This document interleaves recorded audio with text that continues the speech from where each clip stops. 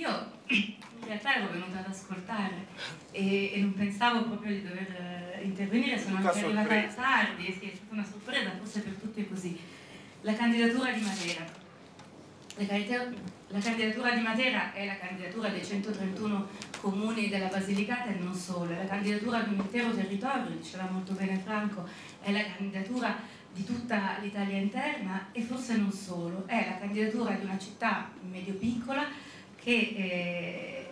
prende consapevolezza, prende coscienza della sua storia, di una sua storia che è una storia antica, però è anche una storia moderna, una storia eh, di grandi trasformazioni, di grandi capovolgimenti. Matera riesce a diventare in meno di 50 anni da vergogna nazionale, lo sapete tutti, non c'è bisogno che la racconti io questa storia, l'hanno raccontata anche in questo spazio tanti prima di me. Matera è la vergogna nazionale alla fine degli anni 40 per la denuncia di Levi, siamo qua, siamo ad Aliano, Levi scrive il Cristo e il Cristo è pubblicato subito dopo la guerra e subito dopo la guerra il mondo non può più chiudere gli occhi davanti allo scandalo dei sassi di Matera e quindi comincia la storia che sappiamo, la storia che porta a un dibattito parlamentare fortissimo e porta allo svuotamento dei sassi e al rischio di perdere una, una memoria. E Matera in quei 50 anni diventa patrimonio mondiale dell'umanità e diventa patrimonio mondiale dell'umanità grazie a tante persone come noi qua stasera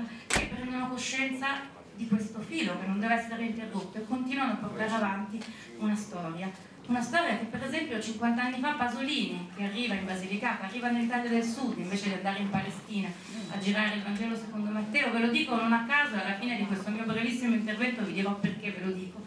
Arriva anche in Basilicata, in Puglia, in Calabria e anche in Basilicata, non solo a Matera, ma soprattutto a Matera e gira il Vangelo secondo Matteo. Saluto Peppino Bella, con lui abbiamo fatto insieme ad altri una cosa molto bella Matera in, questi, in queste settimane. Ecco, Pasolini ci aiuta, tutti noi, quelli di allora e quelli di oggi, a mandare Matera e il nostro territorio fuori da queste nostre straordinarie eh,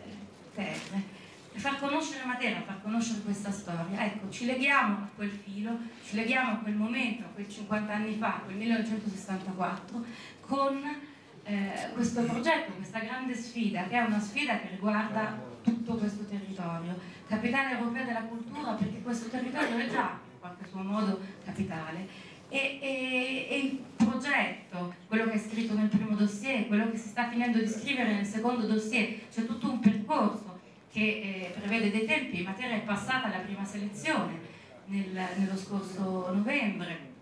adesso sono sei le città che eh, giocano in questa ultima parte della, della, partita, una partita che si giocherà in ottobre. Eh, sono sei città, sei città che comunque sia, comunque vada questa sfida, insieme devono costruire un modo di guardare alla cultura diverso e unitario. Allora l'idea più importante che eh, la nostra candidatura a, a, sta rendendo concreta è quello che comunque il, il, programma culturale, il processo che si è messo in moto, quello che stiamo facendo, forse stavamo già facendo, deve essere portato avanti. E questo, e questo la comunità intera lo sta, lo, sta, lo, lo sta credendo. E questo io credo che sia la cosa più importante. Lo sta credendo e l'ha costruito e lo continuerà a costruire andando oltre